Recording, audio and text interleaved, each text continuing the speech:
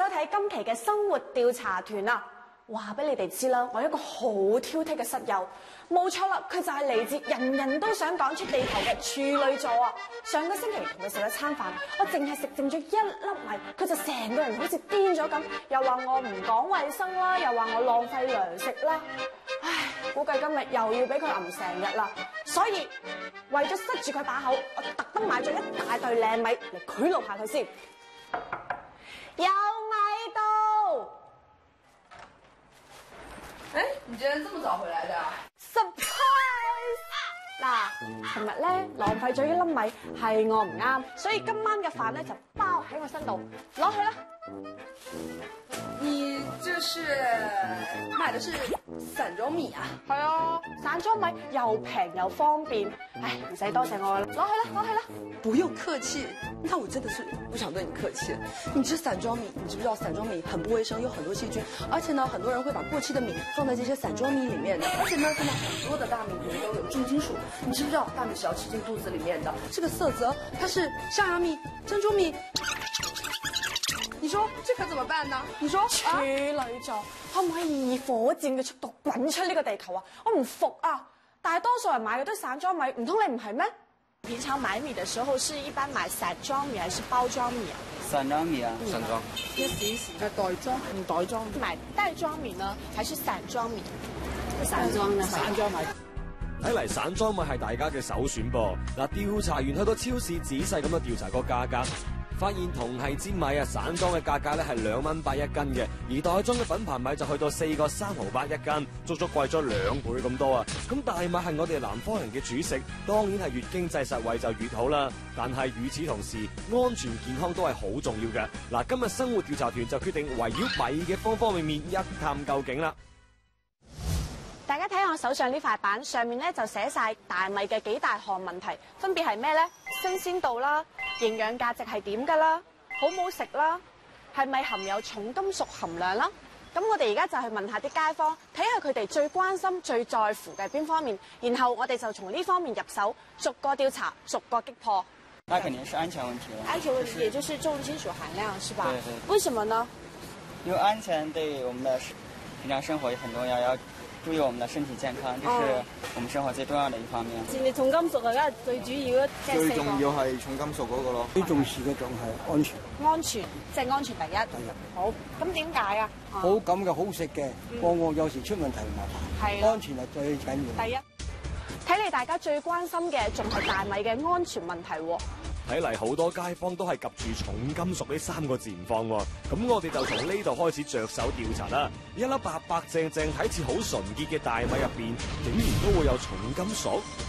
部分大米重金属镉含量超标，这个消息引起了大家的关注。湖南部分地区生产的大米被检出镉含量超标。廣東省有一百二十個批次的大米镉超標，順德呢就查出九批次嘅含镉毒大米，其中的大米和米制品的镉超標率達到了百分之四十四點四。镉呢是污染物限量指標，每千克大米当中的含量呢是不得超过零点二毫克的。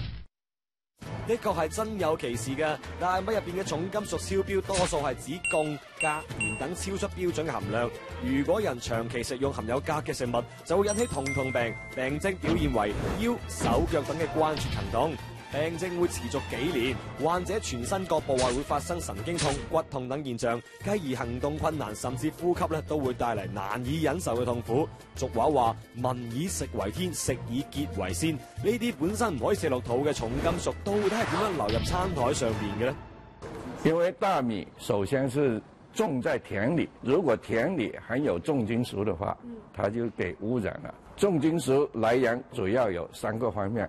一个是土壤里本身固有的，那这种地方呢本来就很少，啊，一般在盛产这个矿产的地方或者在它附近的才有。重金属来源最主要是河水给污染了，就把重金属带到田里，这田就有了重金属，才会产生污染。另外一个呢，就是有些肥料利用城市垃圾或者工厂污泥生产出来的。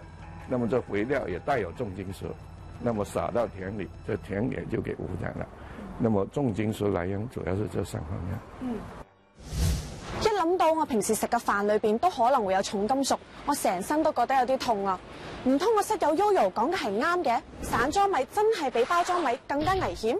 嗱，我而家手頭上咧就有幾種樣品，分別都係從超市市場買翻嚟嘅，有散裝嘅，亦都有包裝好嘅，有平嘅，亦都有貴嘅。咁我哋而家咧一齊嚟檢測下佢哋嘅重金屬含量啦。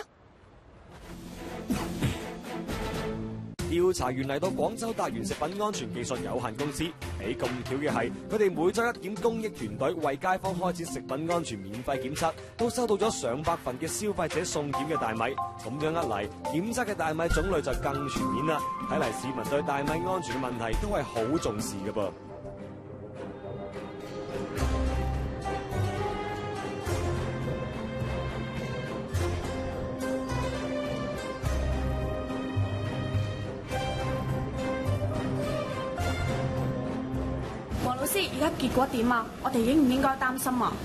嗯，根據最近呢依一百份大米檢測結果嚟睇啦，重金屬鎘嘅檢出率咧係有百分之四十三點九六㗎。哇，咁高！咁而重金屬鉛嘅檢出率咧有百分之九十一點二一，咁鎘嘅超標率咧係有百分之二點二零。咁鉛暫時未有揾到超標樣品。哦，老師你啱先講到呢批大米裏邊有四十四份係含有鎘嘅，而且有兩份係已經超標咗嘅。咁如果我哋食咗落去嘅話，會點呢？鎘咧除咗會引起一個痛痛病之外啦，咁仲可能會造成一個貧血啦、高血壓啦、神經痛啦，仲有內分泌失調等等。咁而鉛嘅話咧，就會影響我哋嘅神經、造血、誒、生殖同埋發育啦。咁尤其咧就會影響呢個小朋友嬰幼兒嘅一個智力發育同埋生長嘅。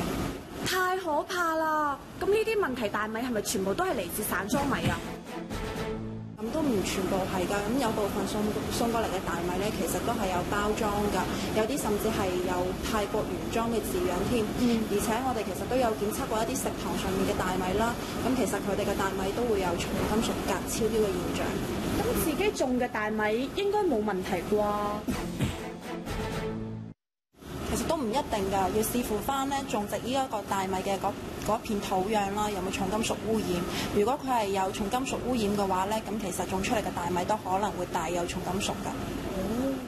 原來無論係咩包裝喺邊度生產，只要係大米都有被重金屬污染嘅可能，咁都太冇安全感啦啩！重金屬咁毒，咁我哋平時買米嘅時候，可唔可以通過肉眼嚟分辨呢？其實問題大米啦，同埋普通大米之間咧，係好難通過肉眼進行分辨㗎。佢冇異味啦，亦都食唔出嚟，所以只能夠通過一啲專業嘅檢測技術啦進行驗證。分辨唔出，咁我哋平時咪好容易買到啲毒大米翻屋企？其實大家都唔使過於恐慌嘅，畢竟市場上面大部分嘅大米都仲係安全㗎。咁根據我哋嘅檢測經驗咧，我哋會建議消費者啦喺選購大米嘅時候，盡量避免長期食用同一個品牌嘅大米啦，同埋咧唔好長期食用同一個產地嘅大米，盡量分散化啦，咁降低風險。原生礦區嘅鎘污染尤為嚴重啦，咁我哋要盡量避免由原生礦區購買大米。咁同埋仲有就係、如果大家買咗啲大米翻屋企依然唔放心嘅話咧，可以送嚟我哋每週一檢啦，進行一個免費嘅檢測，幫大家進行一個科學選擇安全食品，降低風險咯。專家仲特別提醒大家，經過研究發現，如果所食含有鎘嘅食物入邊同時存在砷嘅話，就可以減少對鎘嘅吸收嘅。所以經常食海產品、豆類、瓜子、肉、蛋等含有砷含量較高嘅食品，可以減少對鎘嘅吸收。面對隔超標大米，縱使係有火眼金睛啊，都好難識別嘅。咁但愿有關部門呢，可以把好食品安全關，令到老百姓咁糾結嘅心可以淡定落嚟，安安穩穩咁過日子啊！咁作為消費者咧，最緊要記得唔好淨係食一種米，要時不時換個牌子、換個產地嘅米嚟食。咁買嘅時候咧，要留多個心眼，認清包裝上面嘅安全標誌。如果你覺得仲係唔 OK，亦都可以送去檢測。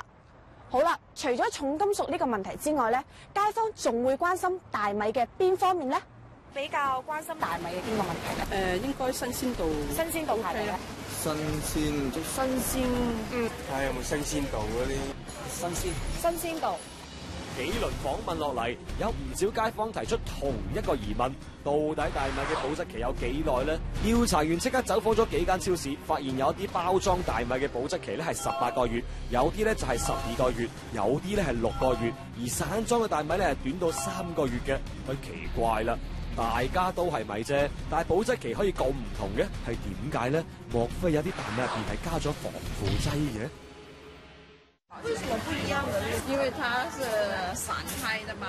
因为它没有包装，所以它的保质期就相对短一點。對啊。那会不会里面这些加了防腐剂什么的？不會，什么袋裝會有袋子裝，沒有，它都是有一定的重量跟米大的範圍。它那個大包米呢，你看倒那個米缸，你散開來賣。散裝嘅新鮮啲定係包裝嘅新鮮啲啊？食呢可能會袋裝會好啲嘅。袋裝係新鮮啲㗎。係啊。超市阿姨答到咁肯定，究竟系咪咁呢？调查员带住同樣嘅問題請教咗華南農業大學嘅高級農藝師張建國老師。這主要有兩個大的原因，第一個是大米本身的含水量，因為你收穫時候曬谷的條件不一樣，這個大米的含水量是不同的。如果說按照國家標準，含水量在十三點五以下。那如果能够提高到十一、十二，它的保存期就长了。那如果你把含水量提高到十五、十六，它的保存期就短了。啊，这是一个原因。第二个原因就是你保存的条件是不是真空包装的，还是普通包装的？还有就是有没有充氮气的？那么如果你采用真空包装，它的保存期就比较长，充氮氣它的保存期也会比较长，所以就这两个条件决定了它们的保存期。老师啊，咁我哋系咪唔可以食啲过期大米噶？咁如果食咗之后对我哋身体系咪真系好大危害啊？大米的保存期呢，其实跟它质量虽然有比较大的关系，但最主要大米能不能吃，还是你要看这大米有没有變壞。首先。一个是不是生虫了？那么生虫的大米是绝对不能吃的。第二个有没有发霉？这个才是最严重的，特别是環洗霉，那么吃下去就很严重。老師所講嘅好嚴重，咁到底有幾嚴重呢？發毛嘅大米入邊容易產生黃曲霉素，而呢種毒素被世界衛生組織劃定為一類致癌物，佢嘅毒性啊，要比砒霜係大整整七十倍嘅。只要佢嘅含量係達到每公斤一微克，咁就有可能會誘發癌症，而且佢致癌所需嘅時間呢，最短只係六個月。真係冇諗到，唔新鮮嘅大米食咗之後，對身體有咁大嘅潛在危害啊！你哋仲記唔記得我室友 Yoyo 話，散裝米裏邊好容易掺杂啲過期嘅米？咁而家咧，我又特登攞咗啲樣品過嚟檢測下，時間差唔多啦，我哋一齊嚟問下老師，結果係點嘅？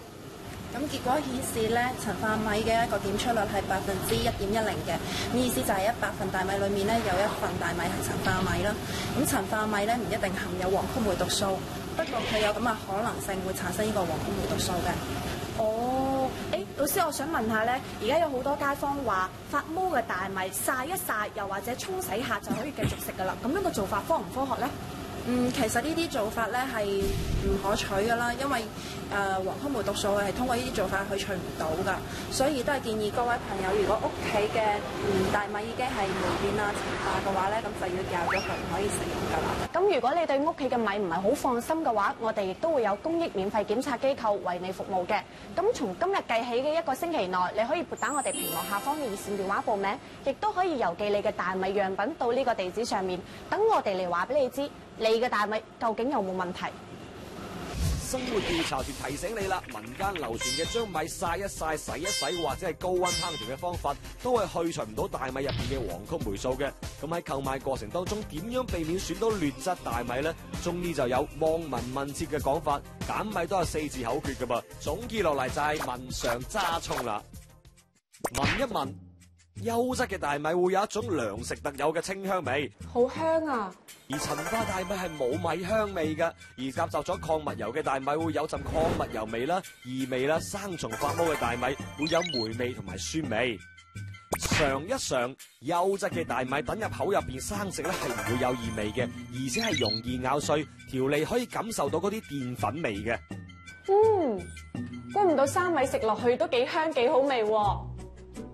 炸一炸，優質嘅大米經過手喺袋入边反覆咁揸插之後，可以清晰咁樣見到袋嘅周圍同埋手上係有白色嘅澱粉物質出現，呢啲就係整容嘅陳米唔具備嘅。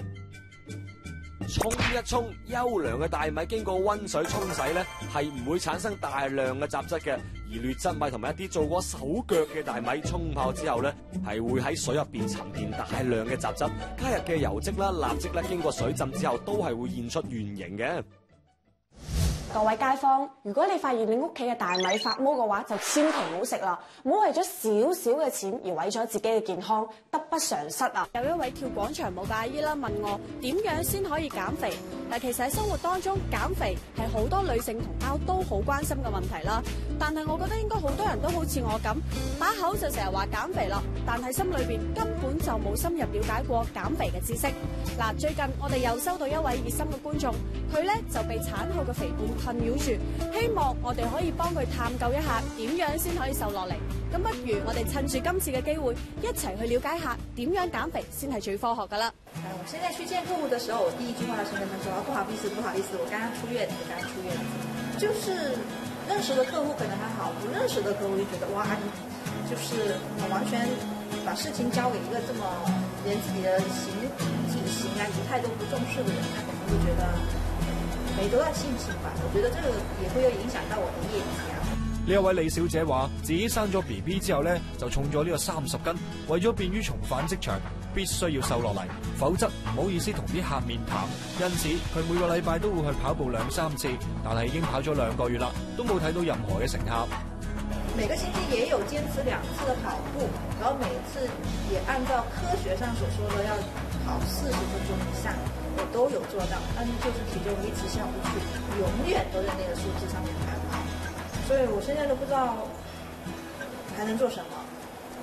了解咗李小姐。嘅困扰，瑞恩决定带佢去寻求专业人士嘅帮助。其实我有我有很注意控制我的饮食啦，然后经常每个星期也会一两次的跑步，但是我就已经跑了一个多月啦，但是现在还是这个死样子。其实对于这种情况，我非常理解啊，就是说像我们活跃在我们健身房的很多女汉子，大多都存着这样的困惑问题。那么首先就是我们体重和脂肪的关系，就是我们的体重只是一个表象。那么脂肪可能更多是我们在乎的，就是脂肪的下降可能等于体重的下降，但是体重下降不一定是脂肪的下降。所以这里跟大家提出一个观点，就是一个基础代谢。那么只有保证我们的基础代谢，才能更好的达到你想要的运动效果。那我呢，就是我平，我觉得我不算太肥，但是我想通过活动来保持我身体的活力，那我应该怎么做？那其实像你们两个的体质是完全不一样的，嗯，那可能在训练方法上也是存在一些差异性，嗯，那么首先需要了解一下你的身体的一个组成成分，那么这边有我们的一个体测，哦，可以了解一下你的身体的一个情况。好啊，好啊，好啊。體脂測試儀主要係檢測出身體內部肌肉同埋脂肪嘅重量以及分布區域，等檢測者對自己嘅身體水分、肌肉、脂肪、肥胖分析等數據一目了然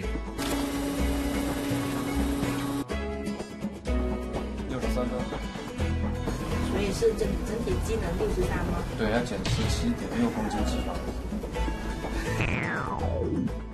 嗱，教練指出，跑步並非人人適合，減肥唔等於減體重。